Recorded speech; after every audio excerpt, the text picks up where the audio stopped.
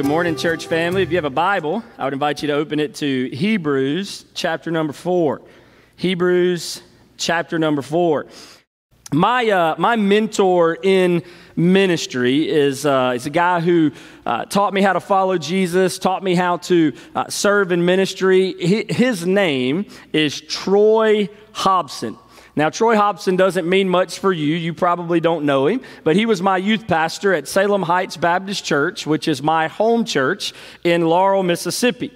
As the Apostle Paul was to a young guy by the name of Timothy, so Troy Hobson was to me. As a matter of fact, Brother Troy spent countless hours allowing me to live life with him.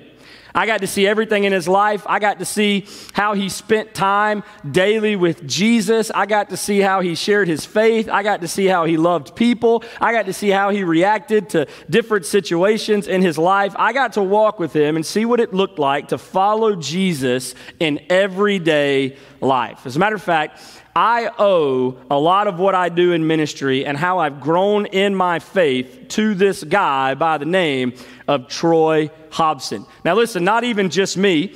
There are countless young men who were discipled by Brother Troy and are now serving in ministry throughout the country. Uh, one of one of the you, you happen to have two of those people in your church. Uh, Troy Hobson was my youth pastor. Troy Hobson was also Corey Jeffcoat's youth pastor. So just to give you a perspective of the impact he's had on our state, two of those young men happen to be serving together. At least I like to consider myself still young men, um, happen to be serving uh, together here at First Baptist Saltillo. Brother Troy, he, he never got married, um, never had any kids, but he has certainly raised a lot of young men. As a matter of fact, my kids call him by one name, and that is Papa T. Now, many of my memories with Brother Troy are from time spent on the Poticaw Bayou eh, on the Pascagoula River in Vancleave, Mississippi, on his houseboat. As a matter of fact, I was talking about his houseboat the other day with some other pastors in our area, and our associational mission strategist, Brian Tillman, actually has been to Brother Troy's houseboat. It is that uh, kind of famous. Now, I'm not talking about a boat house. Some of you uh, may, may have one of those, or some of you may want to call it that. I'm talking about a houseboat. Now, there is a difference. It's not a place where a boat is stored or where a boat that someone uh, has that they live on. This is a two bedroom, two bathroom, kitchen, and living room house that's floating on several pieces of styrofoam on the Pascagoula River. This is, in my opinion, the ultimate man cave. Now, when I was younger, even not even that much younger, uh, we would jump off the deck at the houseboat and uh, we would swim for countless hours uh, on, on, the river. We would tube and ski and wakeboard. We would fish and run all sorts of uh, fishing lines. And listen, even more than just the fun we had, we would read the Bible and talk about all things ministry and all things Jesus. We did a lot of things, a lot of awesome things, a lot of awesome stuff at the houseboat. I have tons and tons of great memories, and still to this day, it is my favorite place to study and prepare sermons. However, Many of the days spent out the houseboat ended with long rides home from fishing. Some of you are those type of people who like to go fishing for a couple of hours, and if you haven't caught anything, then you go home. By the way, I'm one of those type of fishermen. This is not that type of fishing. This is the type of fishing where we would leave early in the morning, we'd ride down the river till we shot out into the Gulf of Mexico, and we would spend all day fishing, catching anything and everything that we could. Oftentimes I have people ask me, hey, what, what were y'all fishing for? And my answer is always yes. Whatever it is, whatever we caught, that is in fact what we were fishing for. Now listen, don't tell Brother Troy, but most days, all of us that were on the boat with him were ready to go back to the houseboat by lunch. But if we left to go fishing, we were going to be out there until you could not see anything anymore. And as a matter of fact, it would still be that dark, and oftentimes we would still be fishing. And then we'd ride back up the river in the dark to get back to his houseboat. Now, listen, it's about a 30 minute ride, sometimes more, depending on what we were in, to go out to the Gulf and then to come back up the river. Now, I tell you this because I can think of so many different times that I'd be sitting next to Brother Troy as he drove the boat back up the river. And listen, it would be so dark that I couldn't even see the people who were sitting in front of the boat, much less could I see where we were going. But Brother Troy always knew exactly where we needed to go.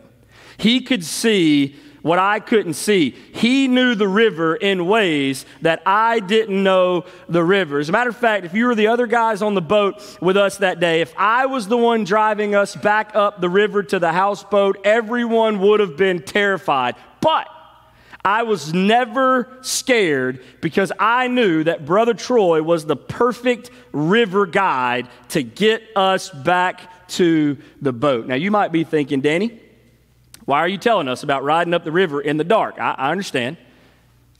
It's pretty simple. Because life can be a lot like that river in the dark. Life can be difficult to navigate. You say, Danny, what do you mean? Have you ever asked questions like these? What direction do I go?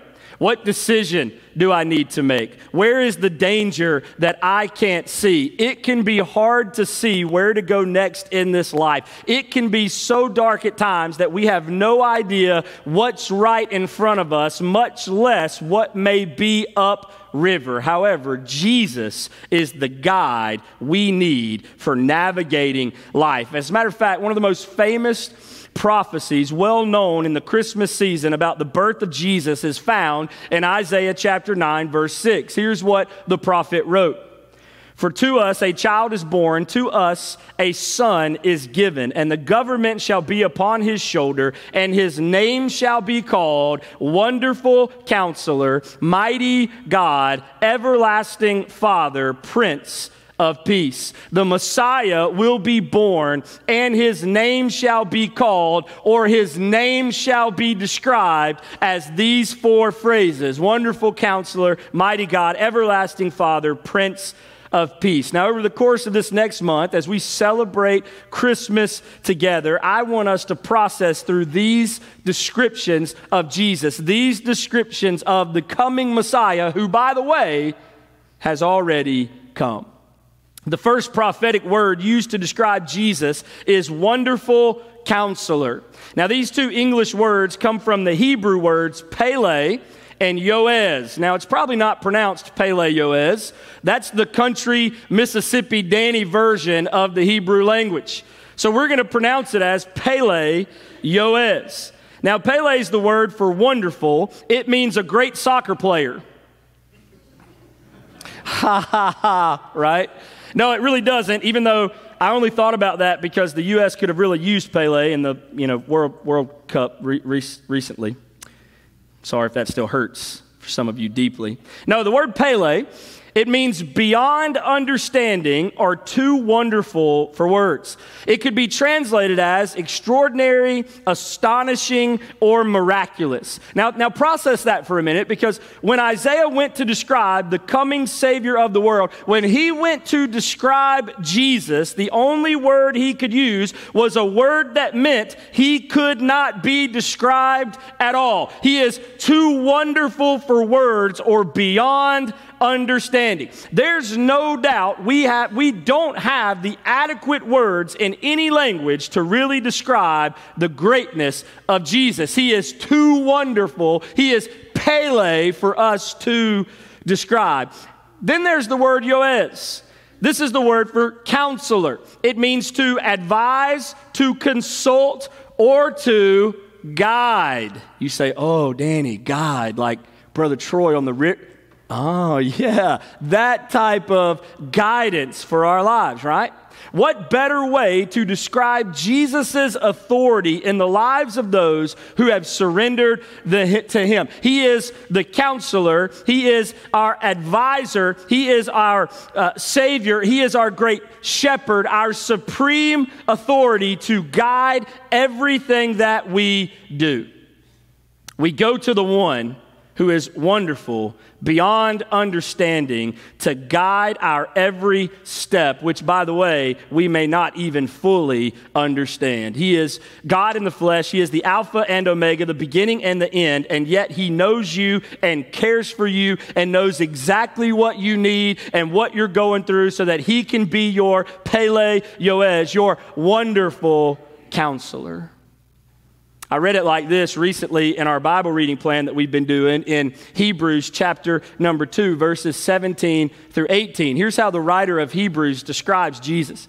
He says, Therefore, he had to be made like us, his brothers, in every respect, so that he might become a merciful and faithful high priest in the service of God to make propitiation for the sins of the people. For because he himself has suffered when tempted, he is able to help those who are being tempted. He is our great high priest, our Savior, our shepherd, our guide, our wonderful counselor who has been tempted. He is able to help those who are being tempted. You know what the writer of Hebrews is trying to explain to us? He's trying to explain to us what the prophet Isaiah said several hundreds of years before this moment. He's saying that he's gone through what we will go through. He understands our burdens, he understands our lives, he understands our hurts, regardless of what you're dealing with in life or what you will deal with in life. He's the wonderful counselor that you need and that I need to overcome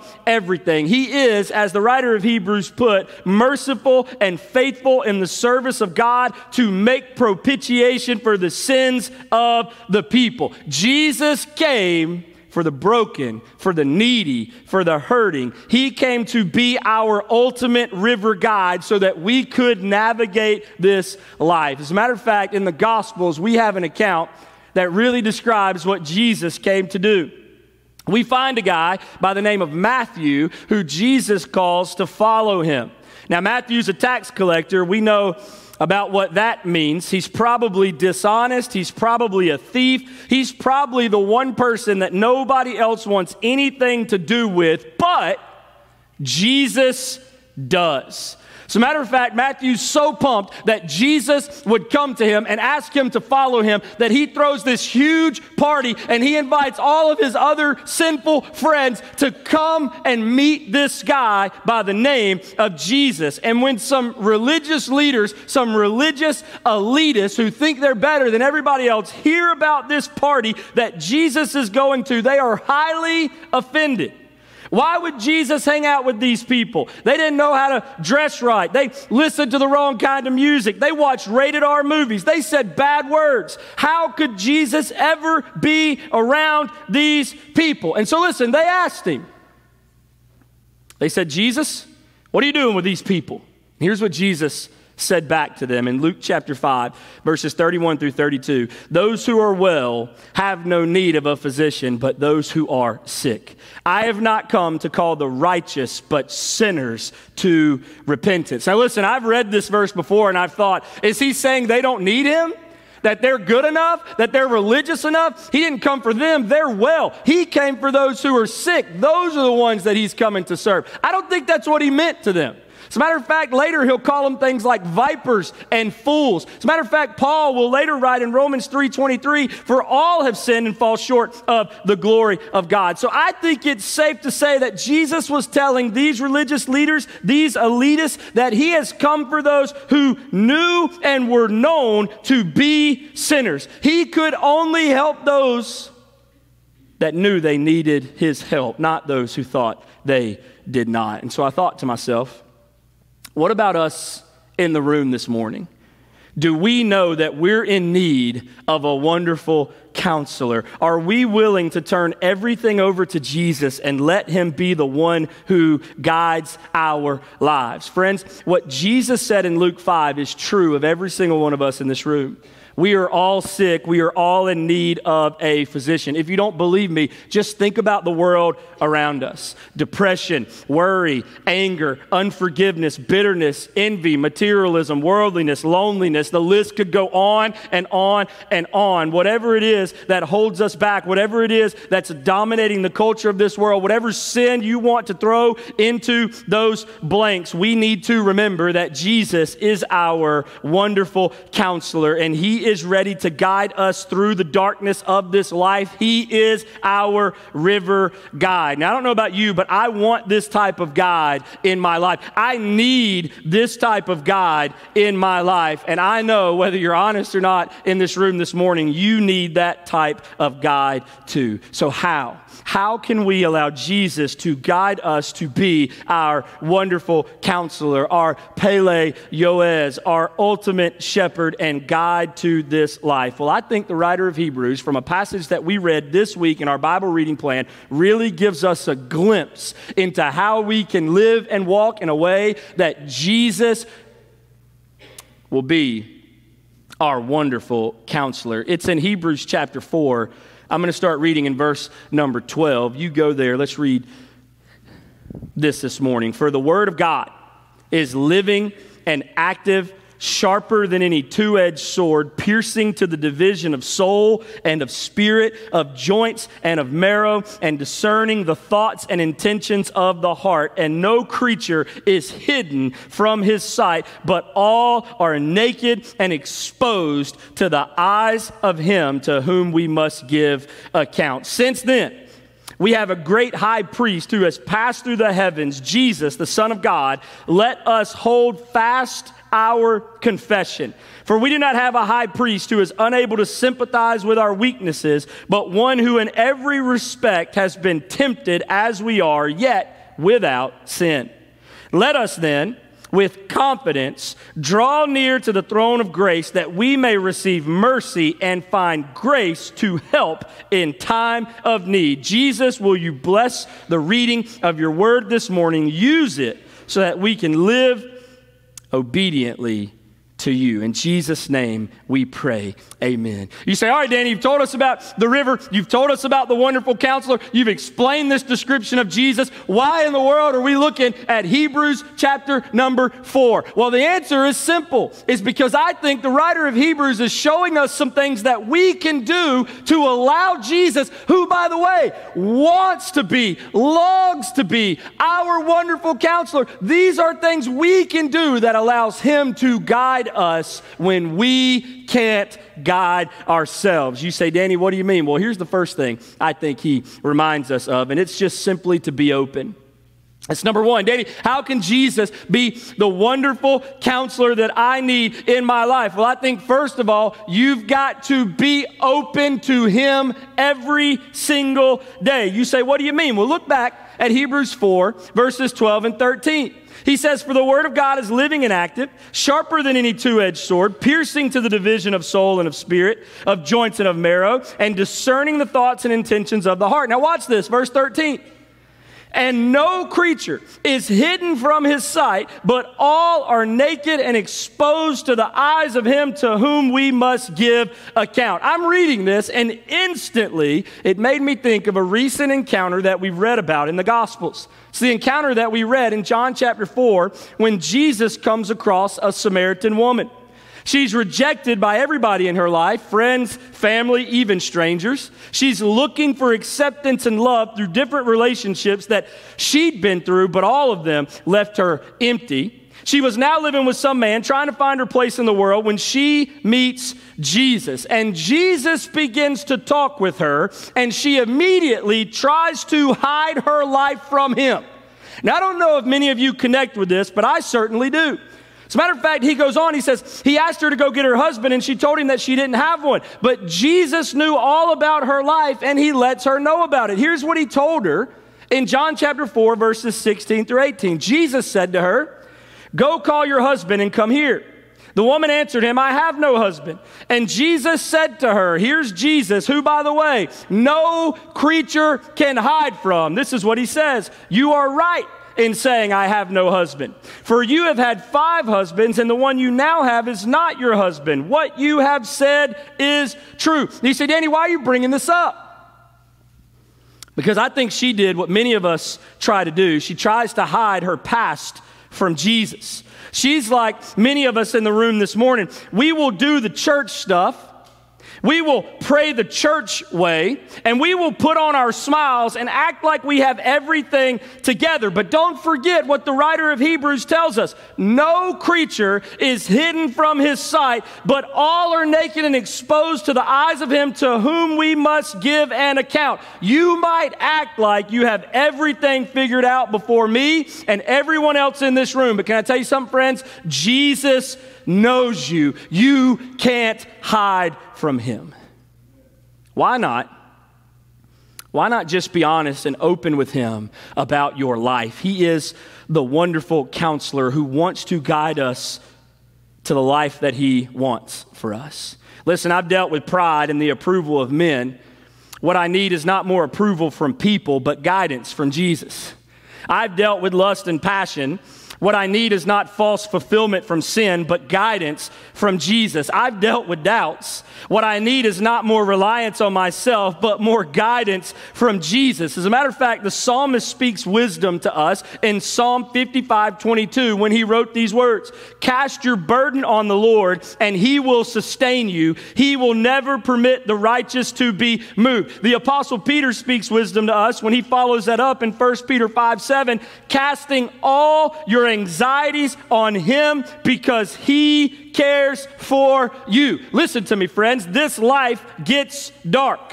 Traveling upriver is impossible on your own. Don't do it alone. You don't have to.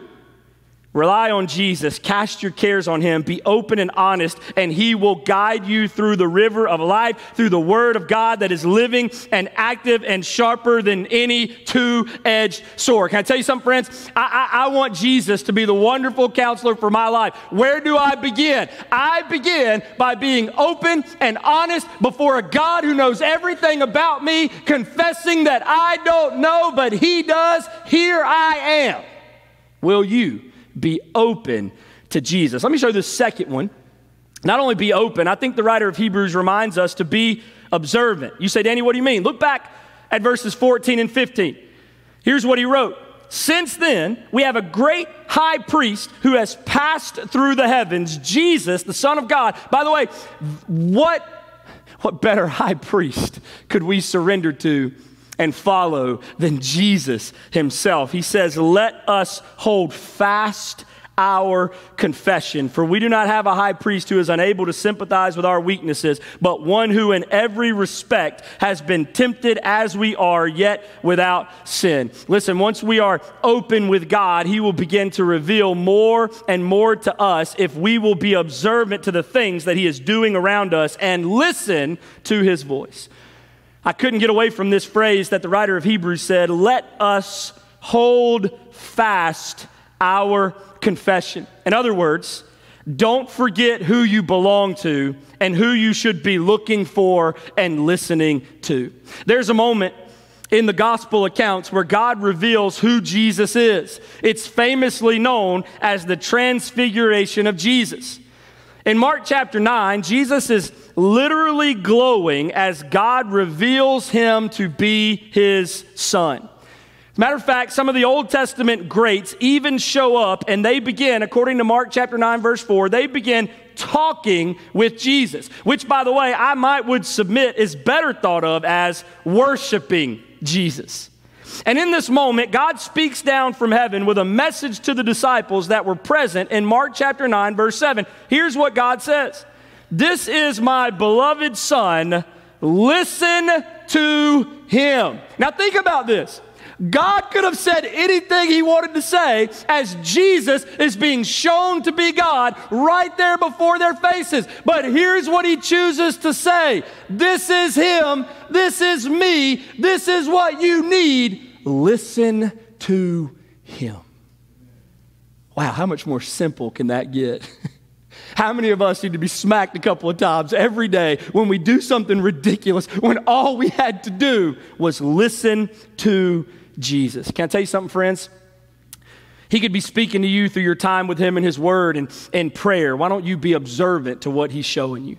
He could be speaking to you through other people in your life. I don't know what that might look like, but why don't you be observant to what he's trying to do? He could be speaking to you through worship, even today, through the songs that we sang that were magnifying him, or through the preaching that's magnifying him, or some other form of worship today. Why don't you be observant to what he's trying to show you? He could be speaking to you through some situation that you're going through right now that you don't fully understand. Matter of fact, in Sunday school this morning, my class decided instead of asking why something's happening, why don't we start asking God what He's up to in the midst of it, right? What if why gets thrown away and what becomes our question? God, I'm not so concerned with why that's happening. I just know that you're going to work this for the good of those who love you and are called according to your purpose. So, God, what is it that you're trying to show me now? Man, he could be speaking to you through his Holy Spirit in any number of ways. Will you be observant to what Jesus is trying to tell you? Listen, Jesus put it this way in John 10 27. My sheep hear my voice, and I know them, and they follow me. You know something, friends? If my children call me, I know their voice.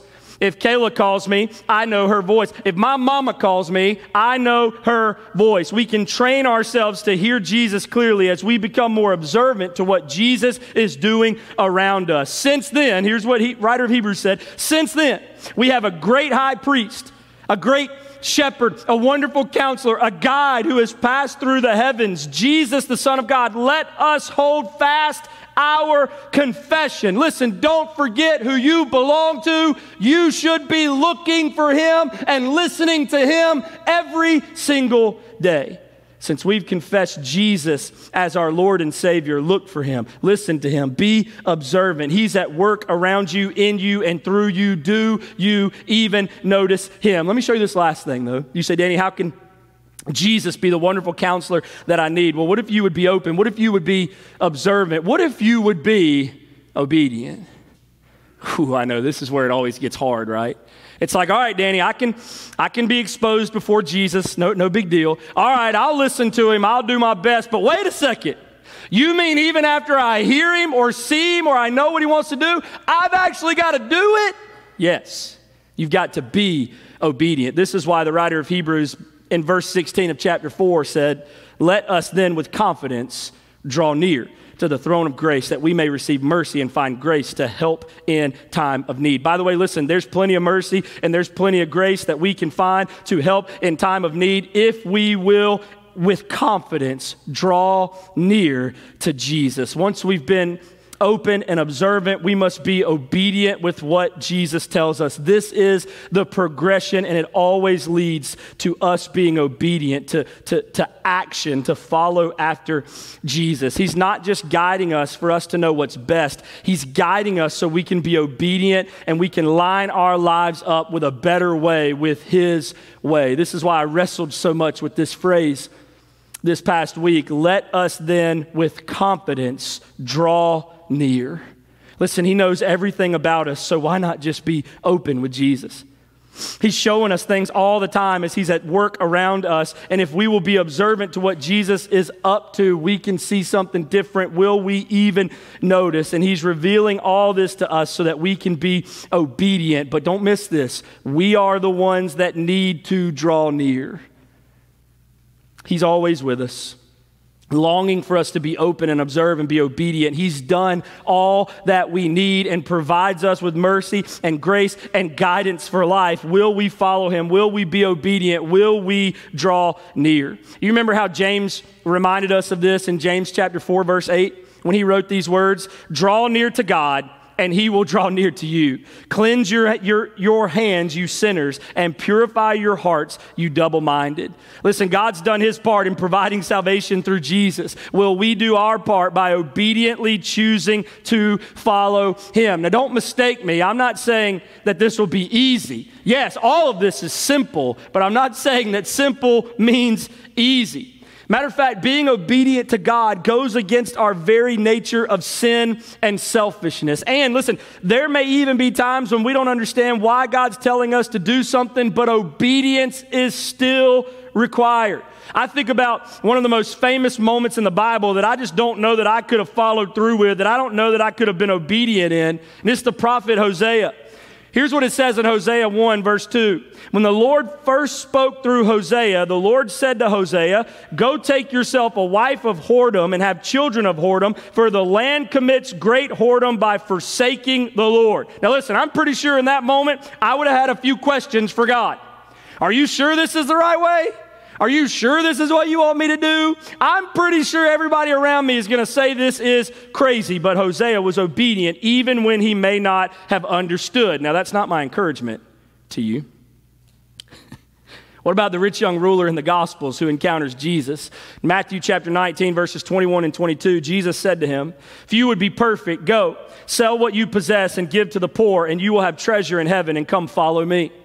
When the young man heard this, he went away sorrowful for he had great possessions. Listen, Jesus wanted him to go against his own sin and selfishness, but he could not do it. Let me tell you something, friends, it's not easy. But being obedient to Jesus, though it may be difficult at times, is always the best decision we will ever make. Listen, without a doubt, this life can be hard to navigate.